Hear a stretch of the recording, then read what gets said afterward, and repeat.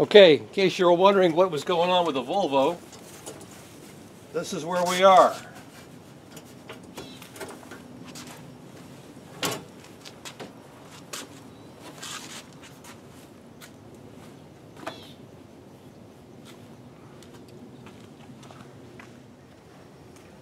Josue and I got the engine in on September 13th, and this is as far as I've gotten since then.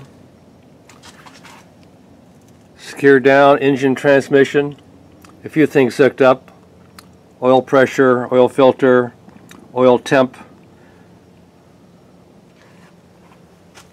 This is the underside of the Volvo showing the transmission and uh, front part of the drive shaft. It's a two-piece drive shaft with three U-joints.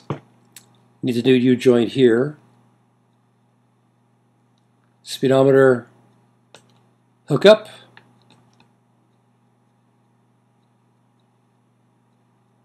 And going toward the front of the car.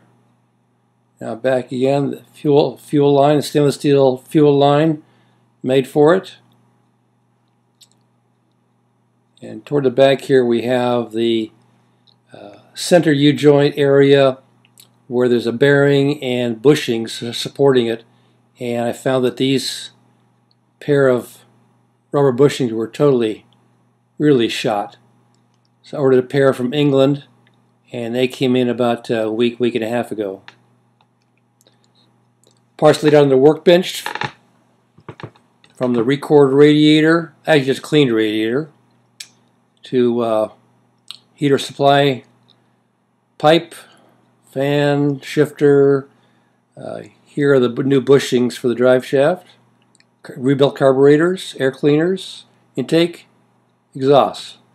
So that's the story.